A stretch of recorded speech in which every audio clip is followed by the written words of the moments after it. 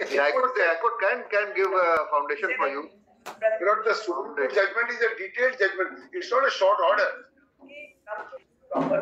All that we are saying is. And even if, and even if there is a judgment, then you have to file a review for that judgment. We are I'm not a party. Not. I can't file a review.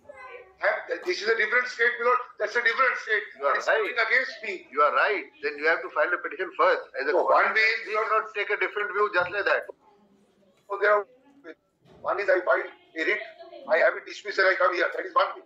The other way is to come to this court directly and That say, direct view we are observing. No.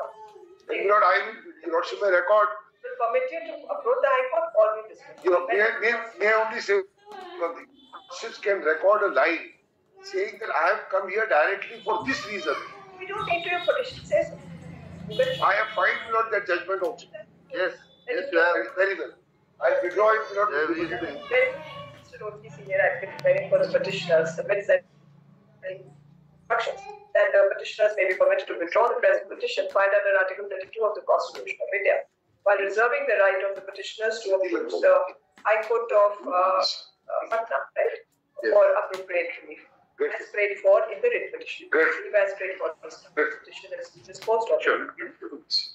Next.